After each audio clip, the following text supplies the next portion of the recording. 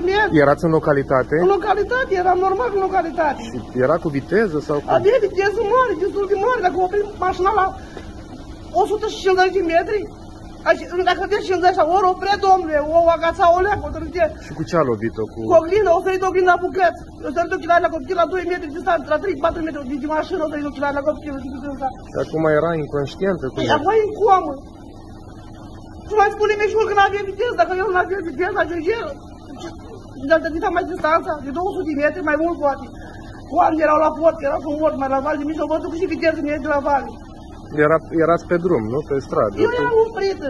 pe marginea drumului, Da, cumva. și fetița era lângă mașină, aștepta că eu mă uitam stânga de să spun că se treacă. Și am luat cu viteză de la Vale, când o luat-o, eu luat-o din plin.